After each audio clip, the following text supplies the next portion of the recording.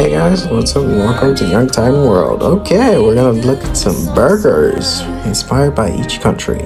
Guess today we're doing France. Ooh. Never had a burger from France before.